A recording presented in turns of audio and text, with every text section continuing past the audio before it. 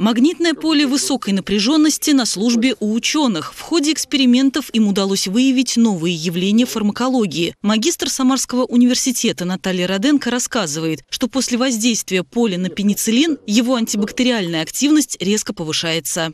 Мы доказали, что происходит увеличение анти антибактериальной активности на 20%.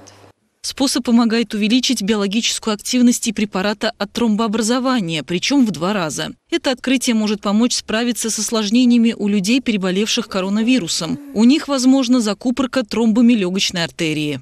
Данный способ а, поможет а, пациентам, например, если мы возьмем и обучим, да, уменьшить дозу лекарственных препаратов для того, чтобы э, ввести далее пациенту. Если мы с вами возьмем питоксифилин препарат, то есть он э, будет разжижать тромбы. То есть мы увеличим его биологическую активность, тем самым мы уменьшаем вязкость крови.